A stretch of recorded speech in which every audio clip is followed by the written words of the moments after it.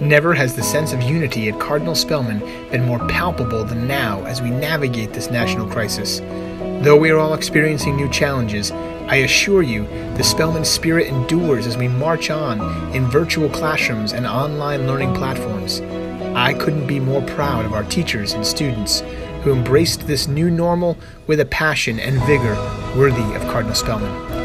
In the last few weeks, I have also been moved by the generosity and selflessness of our parents, donors, alumni, and corporate partners who have stepped up in support of our great enterprise. We, like you, look forward to celebrating the day when students, faculty, and staff fill our hallways and classrooms once again.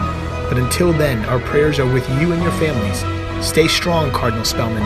Better days are ahead.